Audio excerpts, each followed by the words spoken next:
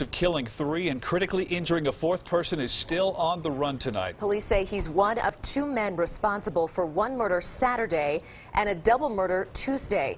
One suspect is behind bars, but police say the second man is still out there, and investigators are anxious to track him down. KRDO News Channel 13's Emily Allen joins us in the studio with new documents outlining one of these chilling crimes. Emily. Barton Heather, here are mugshots of these two men. Now, Haywood Miller is behind bars, but police are continuing to look for Richard Spanks.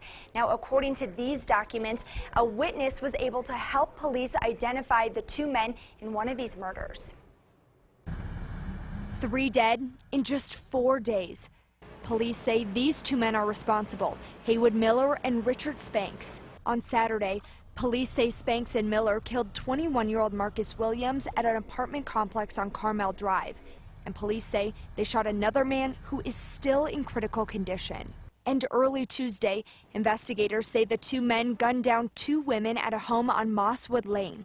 Police can't say how these crimes are connected. I'll tell you that there was just some incredible uh, police work in being able to connect two separate scenes. Lieutenant Howard Black says detectives have been busy. I'm so proud of our uh, detectives and, and what they've been able to accomplish over these last few days. According to court documents, a witness helped police identify Miller and Spanks. The witness was at home when Miller and Spanks showed up between 2 and 3 a.m. The man let them in and went to his room. He heard a woman yelling, You don't have to do this. And then the man heard 10 gunshots. The witness says he was scared and thought the gunman would come for him next.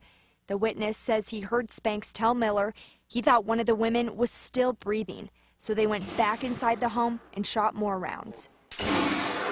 Police won't say yet why they think Spanks and Miller targeted these two women and the two men on Carmel Drive. As Springs police search for Spanks, they have also alerted law enforcement in Denver, New Mexico, and Oklahoma. Police are also looking for Spanks' car. It looks similar to this one. This is a red Kia Forte EX 2010 model with Colorado plates QNC 845. Live in studio, Emily Allen, KRDO News Channel 13. Good information.